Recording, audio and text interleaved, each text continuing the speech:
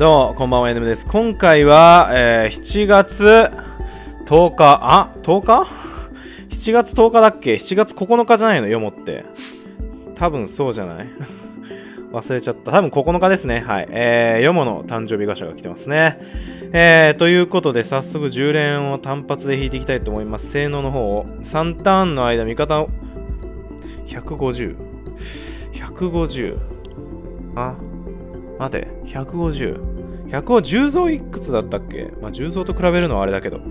えー、操作側に対してダメージ160%。ああ、ああ、ああ、ああ。なるほどね。重蔵と窓さんっていくつやったっけな？忘れちゃった。120とかじゃなかったっけ？まあいいや。引いていきましょう最近さ、ピックアップのもんさ、当ててないじゃん。うん。他の SSR 出ても絶対他のじゃん。もうそろそろピックアップ引きたいんだけど。最初の頃ピックアップ絶対引いてたじゃん。ああ。これちょっと売却しよう。えー、キャラが多いって、この、こいつらいらね。最初の頃はさ、ピックアップさ、絶対引いてたじゃん。キャラ増えてきだして SSR 出てもまあまあどうせ違うんだろうなってもう予想がつくんだよね。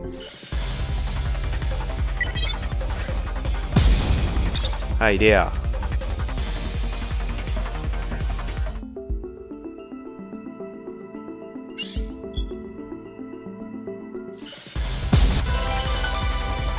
あれ？俺 SR の篠原持ってなかったんだ。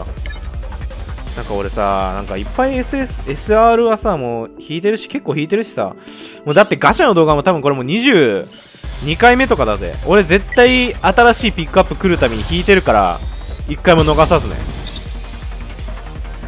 もう3ヶ月、4ヶ月ぐらいかな、インボーク配信して。もう、もう22本だぜ。ペースがやべえよ、キャラの出る。あの、誕生日もさ、ちゃんと、あ、やべ、画面切れちゃった。ごめんなさい。画面切れましたね、これ。あー。出た出た。ちゃんと引いてっからさ、キャラの出るペースがすごいんだ、インボークってよ。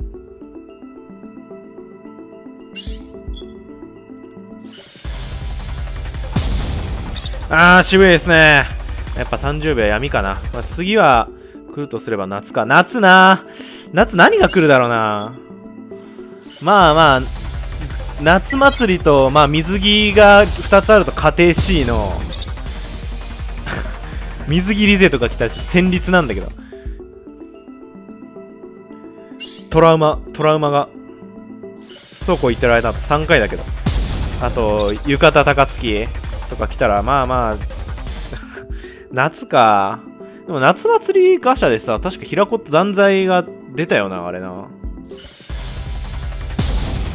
渋 今回渋ラストですね。はい。まあ SR とね。まあいつもの通りですよ。あじゃあまた次の実況動画でお会いしましょう。お疲れ様でした。